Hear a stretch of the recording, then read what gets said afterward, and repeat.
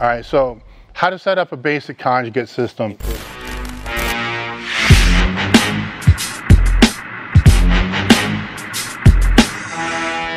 I have articles on this. So if you search, you know, Dave Tate, the eight keys, basically to lay this out,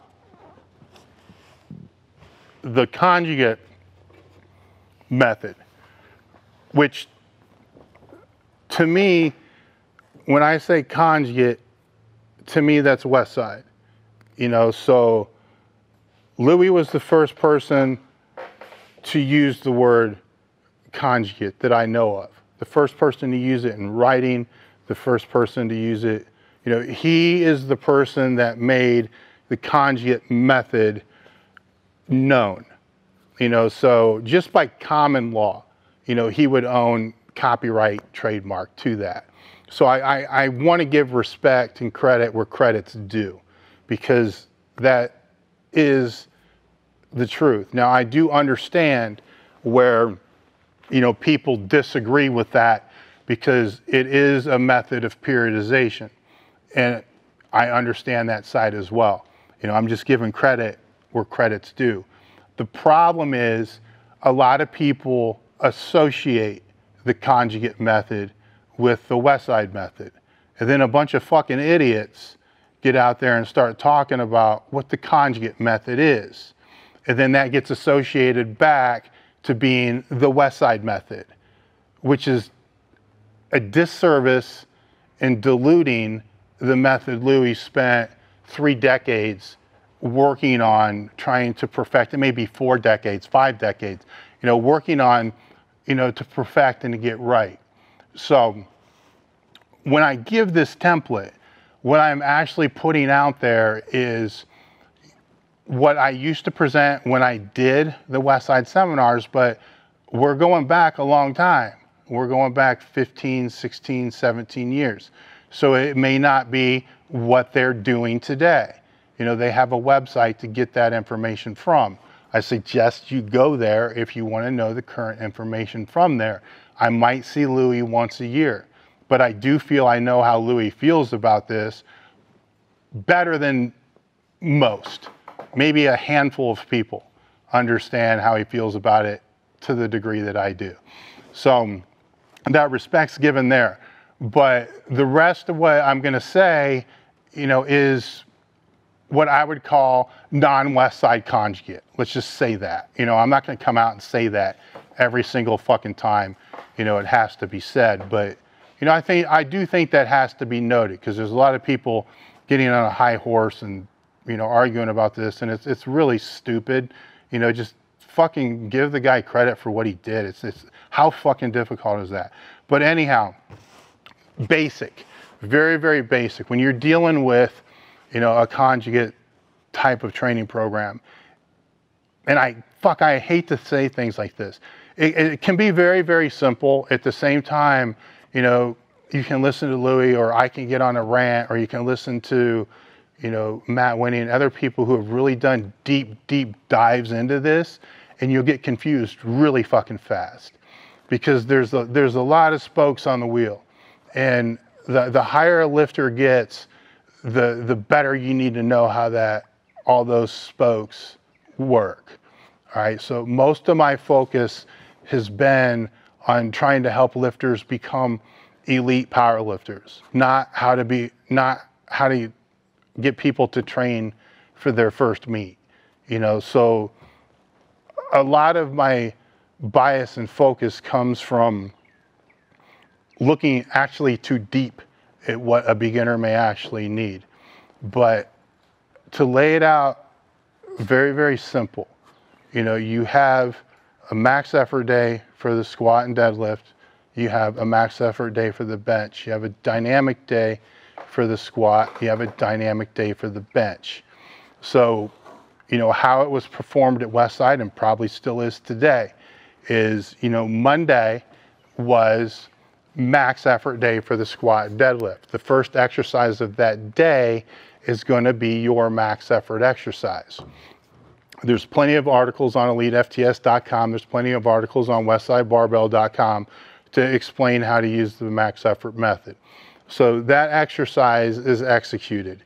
You know, after that exercise is what I personally call the supplemental exercise. That exercise is going to be trained really, really hard. It's going to be trained in probably a three to five rep range, and it's going to have a higher dynamic correspond, higher carryover to that max effort exercise or any of your max effort exercises than any other lift would.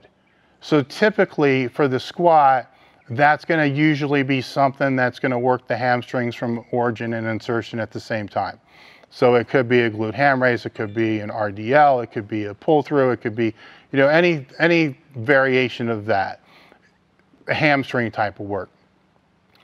If that's your weak point. If not, say it's lats or upper back, then it's going to flip. For most people, it's usually going to be hamstrings. Typically, there's only going to be one supplemental exercise dealing for with a, a, beginner or an intermediate because you start throwing in more than one, recovery is going to become an issue. That's when you fall into what I call accessory exercises. The accessory exercises are going to be trained, trained in a higher rep range, so a lower intensity. So so the intensity being, you know, a factor of a one rep max. The max effort exercise is pushing 90% plus. The supplemental exercise is pushing usually around 75, maybe 85%. You get to the accessories, you're dealing with eight to 10 reps, you're dealing with things in like the 50, 60% range. So a little bit easier to recover from, more reps can be performed. Those are gonna be exercises that are gonna have a higher correspondence carryover to that supplemental. It's like working up the chain to that supplemental exercise. So when you're thinking of the squat, what muscles are going to be more associated, easier way to think about it, with the squat? You know, hamstrings, quads, you know, that kind of stuff. Lunges, things like that would fall in there. And the accessories, abs falls in there. And then after that, you know, I put abs in the accessories, but some people would put another line and say the next group would be, you know, core, which would be lower back, abs, that type of thing which has to be, it has to be in there. The lower back, you know, torso, the whole torso has to be in there somewhere. Then after that, you're dealing with, you know, some people will call prehab, some people will call just the stupid shit you have to do, light bodybuilding stuff. You know, I don't want to say it's unnecessary stuff, but it's not as prioritized. So it is down towards the end. So that's the max effort day for the squat. If we go to the dynamic effort day for the squat, there's many different types of dynamic effort waves. Again, search the dynamic effort method on eliteFTS.com or Westside Barbell. You'll, you'll get more than enough information to know how to cycle through dynamic work. After that, it's essentially a duplicate of what the other day was. You do a supplemental exercises and you hit your accessories. The supplemental exercises you typically stick with, you know, as long as you can keep getting stronger or do more reps. So that could be changing it every single time, staying with the same thing every Monday for three weeks, staying with the same thing on Monday, Friday, Monday, or you know, however you want to wave it, that's, that's completely fine. That's up to you.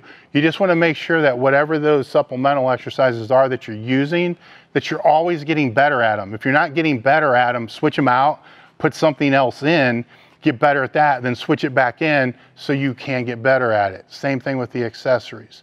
When you're dealing with the max effort bench, same type of layout, you're gonna pick the max effort exercise, we'll work that as it's supposed to be, hit that supplemental exercise, which is gonna focus on what your biggest weak point's gonna be. Typically, I've seen that for intermediates and beginners, some type of heavy tricep movement, could be a close grip bench, it could be a close grip board press, it could be close grip you know, floor press. It's, it's some type of tricep pressing movement.